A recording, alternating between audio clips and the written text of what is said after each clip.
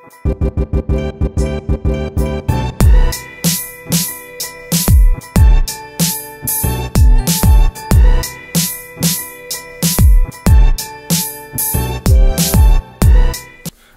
zdravím všechny sběratele, vítejte opět na kanále Absolute Car Collector a vítejte u pořadu Show and Tell, ve kterém vám představuji karty, které nám buď přišly na přeprodej do nabídky nebo karty do mé osobní sbírky.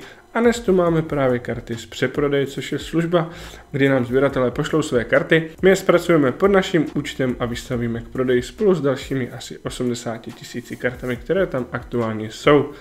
A dnes tu mám zase jen takový výběr několika lepších karet, na které se povidíváme. Není to ani extra tematicky uspořádáno, jsou tam nějaké premiéry, nějaké ultimaty, pár zajímavých podpisů a nějaké platinumky. Zase k tomu přidáme eh, spoustu dalších karet zároveň s tímto videem do nabídky. Takže se na to mrkneme. A jako první hromádku tady máme hm, od Panini Titanium 2013-14 a je to zajímavá karta spíš než již jméno, bohužel v té době určitě Matt byl zajímavým hráčem. A tohle je limit 10 z 10. Je to Game One Gear a patch autograf v paralelní variantě a ve, ve velice dobrém stavu tady tyhle karty bývaly dosti poničené již z boxu. Takže limit 10 z 10, a zajímavá karta.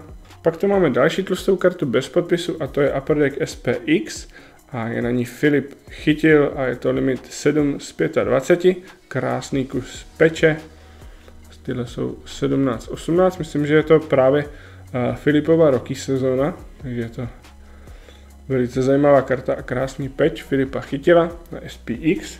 Pak tu máme další Rangers a opět Panini a to Certified 12-13 a Fabric of the Game Mirror Blue Jersey Autograph limitace 38 z 50 a na ní Marian Gáborik.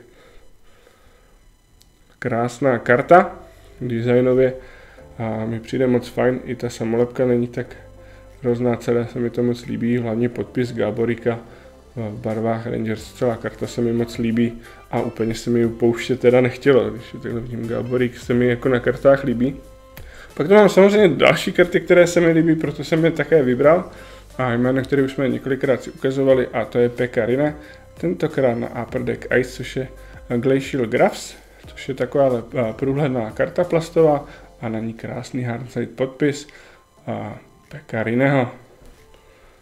Tohle tuším ročník 15-16, takže Conorova roky sezona, takový box už si asi nerozbalíte, pokud to teda nemáte nějakou dobu schované doma. Tak, tak si dáme dva starší podpisy a to ze ročníku, tohle je tuším 2002-3 a to, jsou, to je série Top Shelf, které si vyšel dva nebo uh, jeden nebo dva ročníky, teď přiznám, že nevím. A Top Shelf Signatures a, a na ní Žigmund Palfi a Martin Havlá. Palfi taky nemá, má moc podpisů. Super podpis.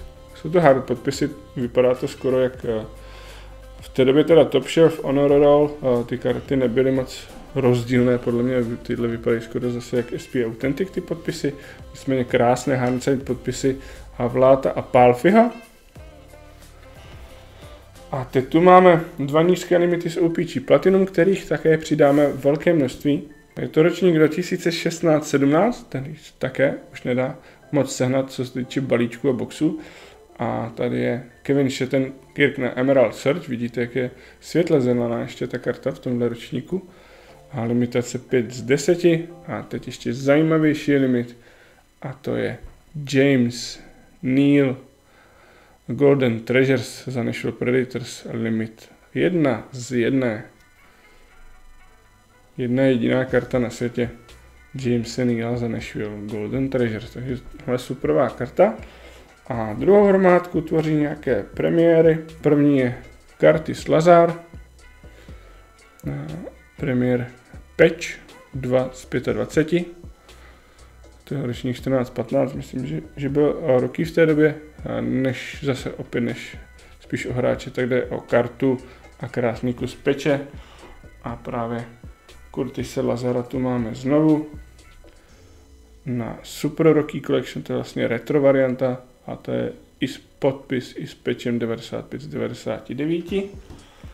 Pak dva zajímavé podpisy z posledních ročníků 1920 a to je Tyler Segin, Dallasu se daří a, a na Segína s Benem se maličko zapomnělo loni, že neměli takové sezony, když táhli bodování celé NHL, nicméně furt skvělý hráč, Tyler Segin. A ruky podpisovka našeho dalšího týmu, kterému se daří, nicméně to není Washington, ale New Jersey Devils, kterému se daří, kde právě Vítek Vaniček již chytá a tady ruky podpisovka z premiéru ještě za Washington. A poslední super podpis, který tu mám, je Felix Potman na Ultimate Signatures, legendární The Cat, brankář Toronto a jeho Harnsign podpis. A má malinko tady bílou hranu, úplně jako lehce, ale máme to u karty zaznačené, abyste viděli, nicméně ta karta vypadá skvěle. A to je Felix Potven na podpisovce Ultimate Signatures. Tak jo, to je, to je další showtel karty se objeví v nabídce s tímto videem. A my si dáme soutěž, kdy každý měsíc soutěžíme o nějaký box, teďka to je pár měsíců Upper Deck Clear Cut 2020-2021. V tomto boxu se nachází jedna podepsaná karta v magnetickém hodru a můžou na ní být skvělá jména. Můj dnešní dotaz se bude týkat právě této série, jakou kartu najdete si klidně v checklistu, než napíšete podepsanýho Hertla, ale napište, jakou kartu byste chtěli z této série vytáhnout. Nicméně Hertl tam určitě není, protože jsem teďka měl San Jose v nějakém breaku, myslím, že ty tam mají pouze Bereta Barnce. Takže napište, kterou kartu byste z této série chtěli vytáhnout, kdybyste tenhle box vyhráli.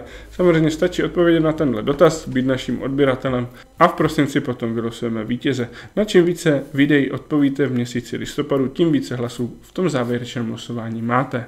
To je mě vše, já se na vás budu těšit v dalších showtelech, máme tu opravdu, opravdu spoustu karet na zpracování, já se právě snažím to nějak filtrovat, abych aspoň nějaké showtely natočil a mohli jsme to přidávat. Mějte se krásně, ahoj.